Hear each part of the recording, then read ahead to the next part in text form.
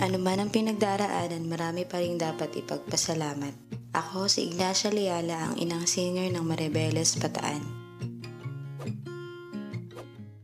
Nagmula ako sa angka ng musiko, pero nung magkahiwalay ang aking mga magulang, kami magkakapatid na lang ang magkakasama at ang aking anak. Ako ay nagtatrabaho bilang factory worker noon at event singer naman ngayon.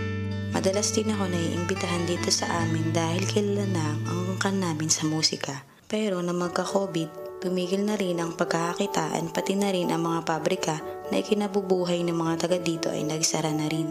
Kaya kung papala rin ako sa tawag ng tanghalan, para ito sa mga anak ko at bibigyan ko rin ng relief ang aking mga kabarangay dahil yun ang kailangan-kailangan nila ngayon. Ignacia Luyala! Bilang pasasalamat na rin sa suporta nila sa akin at sa aming angkan, ibibigay ko lahat ng aking makakaya sa laban.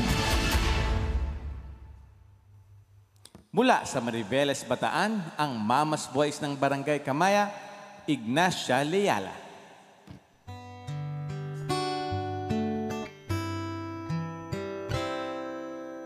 Tila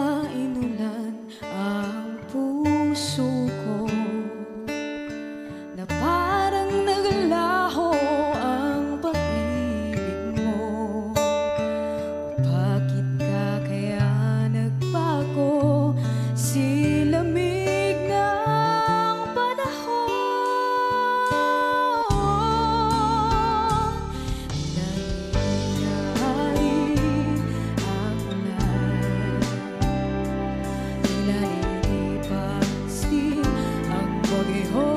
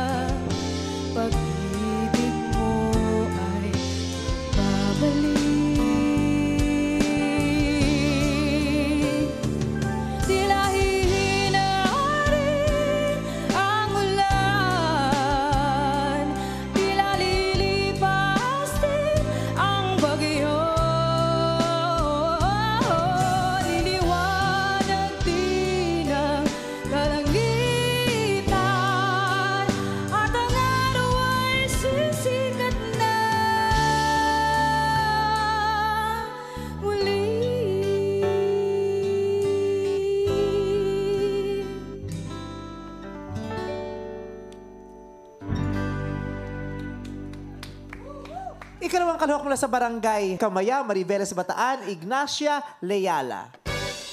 Tawag ng tanghalan sa